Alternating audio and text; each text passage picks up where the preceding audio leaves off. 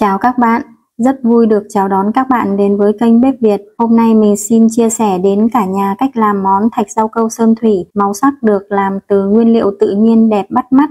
Đây cũng là một trong những món tráng miệng được nhiều người yêu thích. Với cách làm này, rau câu giòn sật sật, không bị tách lớp, khô ráo, không bị chảy nước, vị thơm của lá dứa, béo của nước cốt dừa, mùi thơm vị đặc trưng của cà phê hòa quyện lại với nhau tạo nên hương vị riêng cho món rau câu sơn thủy này. Nếu thấy cách làm này hay, các bạn hãy nhấn like, share và đăng ký kênh để ủng hộ kênh Bếp Việt nhé. Để làm món rau câu sơn thủy, mình chuẩn bị một gói bột rau câu giòn hiệu con cá vàng của Thái Lan.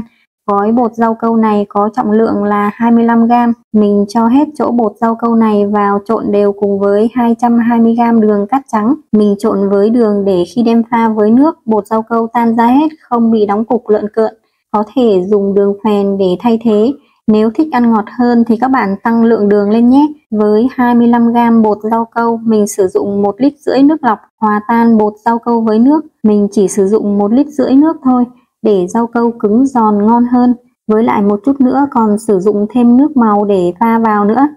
Để ngâm rau câu với thời gian 1 tiếng cho rau câu nở hoàn toàn và ngậm đủ nước. Khi nấu xong thành phẩm rau câu ngon hơn, không bị chảy nước. Để tạo màu cho rau câu, mình dùng 100ml nước cốt lá dứa để làm phần rau câu màu xanh. Thêm 20g đường. Khuấy đều cho đường tan ra hết. Với phần rau câu màu hồng mình sử dụng 100ml nước lá cẩm, nêm pha với 20g đường. Tất cả các màu ngày hôm nay để làm rau câu sơn thủy mình sử dụng đều là màu tự nhiên. Mình thấy làm từ màu tự nhiên sau khi làm xong sẽ thu được thành phẩm rau câu rất là đẹp và cực kỳ thơm ngon. Phần rau câu cà phê mình dùng một gói cà phê đen hòa tan của Nét Cà phê, gói 16g. Mình thấy dùng cà phê loại này màu rau câu rất đẹp, trong và thơm hơn nữa thêm 25g đường, pha với 80ml nước nóng.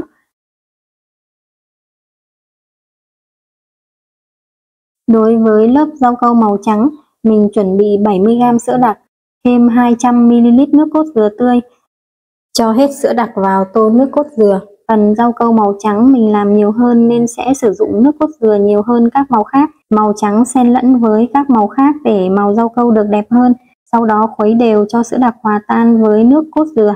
Sau khi chuẩn bị xong phần nguyên liệu tạo màu, bây giờ mình đi nấu rau câu nhé. Cho nồi nước rau câu lên bếp để nấu ở mức lửa vừa. Khuấy đều để rau câu không bị chìm xuống bám dưới đáy nồi. Khuấy không đều rau câu bám dưới đáy nồi sẽ làm nước rau câu bị vàng, rau câu không được ngon nữa. Thấy nước rau câu sôi nhẹ, hạ lửa xuống mức nhỏ nhất, nấu thêm 3 đến 5 phút cho rau câu chín hoàn toàn. Nước rau câu sánh đặc lại, chuyển trong veo là được. Chuẩn bị 3 cái ca đong nước có chia vạch. Mình múc 350ml nước rau câu vào trong cái ca đong nước này để làm rau câu màu xanh. Cho 100ml nước cốt lá dứa vào ca nước rau câu, khuấy đều cho màu hòa tan cùng với nước rau câu. 250ml nước rau câu hòa với nước lá cẩm để làm phần rau câu màu hồng. Đối với rau câu màu cà phê mình dùng 400ml nước rau câu pha với nước cà phê mình vừa mới pha lúc nãy.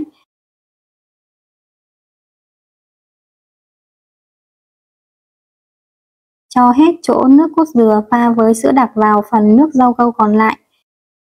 Sau khi pha nước rau câu với các màu xong, mình đổ rau câu sơn thủy nhé. Mình đổ rau câu màu trắng nước cốt dừa trước.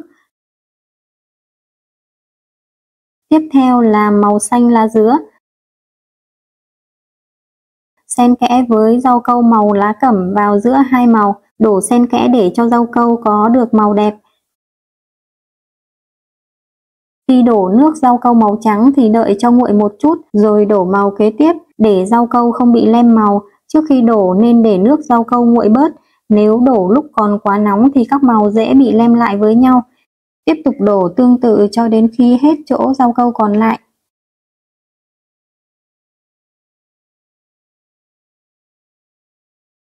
Đây là rau câu sơn thủy mình vừa mới đổ xong, màu sắc rau câu xen lẫn với nhau rất đẹp mắt. Để ngăn mát tủ lạnh 2 đến 3 tiếng cho rau câu đông lại hoàn toàn là dùng được. Lấy rau câu ra khỏi khuôn, mình cắt rau câu ra cho cả nhà cùng xem nhé. Các màu xen lẫn với nhau cực kỳ đẹp luôn, rau câu không bị tách lớp hay chảy nước, màu cũng không bị lem, rau câu giòn sật sật, vị thơm béo của nước cốt dừa lá dứa cà phê. Các bạn hãy dành một chút thời gian để làm món rau câu sơn thủy này cho cả nhà cùng ăn, hoặc là mỗi khi nhà có đám tiệc để đãi khách. Mình xin tạm dừng video tại đây. Nếu thấy hay các bạn hãy nhấn like, share và đăng ký kênh để ủng hộ mình nhé. Hẹn gặp lại các bạn trong các video mới sớm nhất.